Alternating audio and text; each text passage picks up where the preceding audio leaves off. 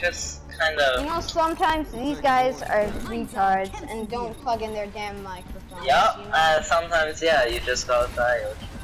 Sometimes you just gotta throw the game. What the fuck just happened to me? What?